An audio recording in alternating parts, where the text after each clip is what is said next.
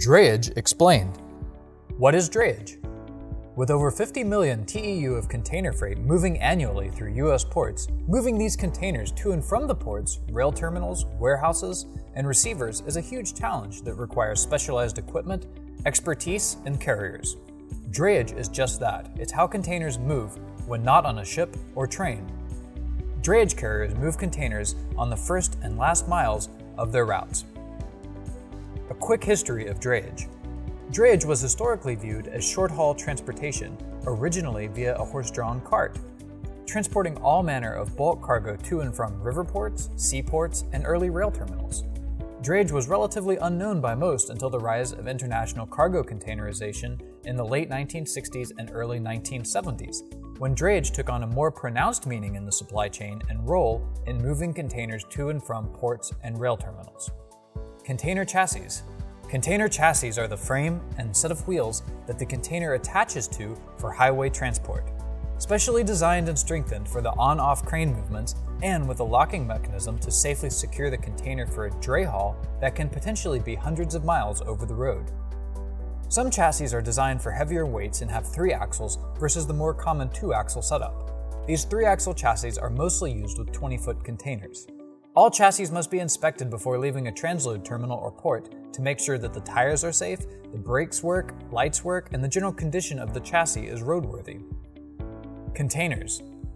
The actual containers come in several sizes. The majority of international ocean containers, which are moved via ship, are either 20 or 40 feet long. The 20 foot containers are typically used for heavy, dense cargo where the cargo will weigh out before the additional volume is needed. This is often heavy bulk commodities, metals, or machinery. 40 foot containers are the most common type of container used internationally and are used for general merchandise. For domestic intermodal shipments, 53 foot containers are the most common, which closely match the interior volume of traditional over the road tractor trailers. In total, there are nearly 20 million shipping containers operated globally by shipping carriers.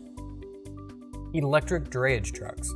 There's been a lot of talk about electric trucks, just as electric passenger cars like the numerous Tesla models have become so popular. For trucks and other heavy machinery, the issue is power density versus power output. Long haul trucks are expected to drive well over 500 miles daily, which puts pressure on batteries to maintain an appropriate balance of weight versus power capacity. The more power capacity a battery pack has, the heavier it is, thus limiting the amount of cargo the truck can carry due to federal regulations. Drayage is a unique opportunity for electric trucks due to the often limited range that dray trucks must drive. Particularly in the larger port facilities, a substantial portion of all drayage runs are under 150 miles, which is a great fit for early model electric trucks. Transloading 40 foot containers to 53 foot containers. At times, it can be more efficient for shippers to work with a logistics partner to transload the cargo from 40 foot international ocean containers into 53 foot domestic containers or into 53 foot dry vans. Since the cargo from five 40 foot containers can fit into three 53 foot containers, this means that inland transportation is now moving three loads versus five. The cost of moving 53 foot containers or dry vans versus 40 foot containers is non existent or negligible, which presents considerable cost savings. Domestic intermodal shipping. Domestic intermodal leverages railroads and drayage carriers to move containers for door to door service. Railroads are utilized on the long haul portion of the trip, while drayage carriers are used on the first and last mile. The containers are transloaded in rail terminals, which facilitates the delivery of cargo to customers that do not have a railroad track directly going into their business.